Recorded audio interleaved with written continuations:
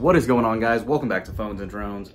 All right, like clockwork, Apple has just released its latest 16.1 Beta 3. It's available now. You guys can go pick it up, download it OTA obviously as usual. This is going to be pretty exciting hopefully. I'm hoping we will have a couple of new features added. Obviously with the first beta, we got the Live Activities API. That is very exciting. Apple discussed that to extent during WWDC. We are also getting that clean charging. We are getting Matter support.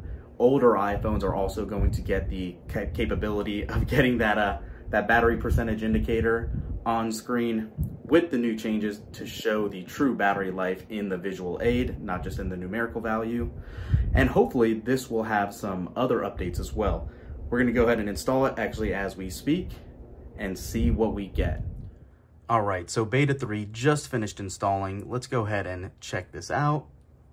Unfortunately, you can't quite see a full demo of live activities yet, just because apps haven't really integrated it.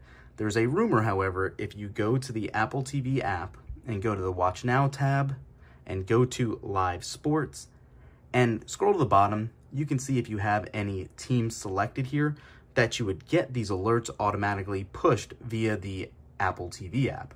I have had no such luck. I've added some baseball teams as well. It didn't work.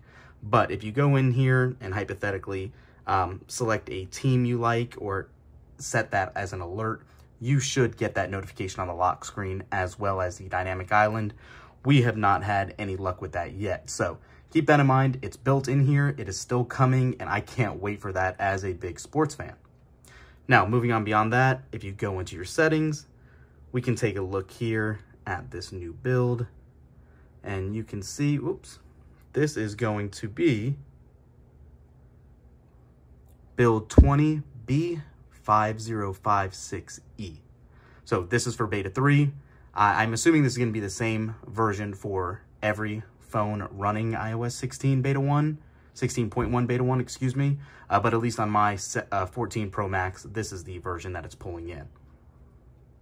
Aside from that, one of the other changes that we actually discussed prior is if you go into battery, battery charging and health now, you can see it's that clean energy charging. I turned it right off. A cell phone, an iPhone, Android, whatever the scenario is, really is not going to impact the environment that much. Obviously, with millions of devices, it can have a minor impact, but I turn this off just to make sure I'm charging at full potential wattage as often as possible. That's why I also turned off the optimized battery charging here. But aside from that, clean energy charging is what we're looking at. That is new. You obviously do have your battery percentage. And like we said, it has changed now to where it is visually matching the percentage that is written here numerically. So it is the dynamic now. If it was at 50%, it would show 50% in the background of the battery filled with that black bar. So those are the main things still. I have not found much else. It's uh, pretty silly, small, minor updates here so far.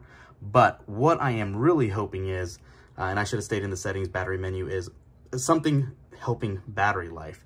My battery life on my 14 Pro Max and even my regular 14 Pro has been pretty rough. I'm definitely not getting as much battery as I got on my 13 Pro Max with iOS 16.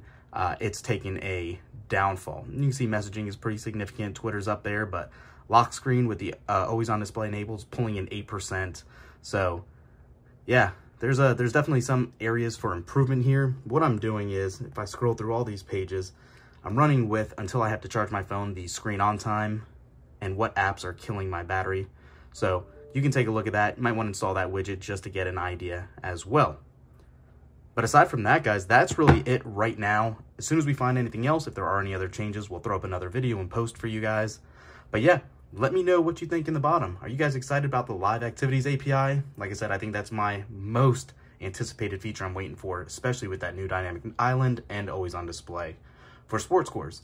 Even when I order an Uber, it'll be nice to see there as well. Thanks for watching, guys. Thumbs up this video, subscribe to the channel, and we'll catch you in the next one. Peace.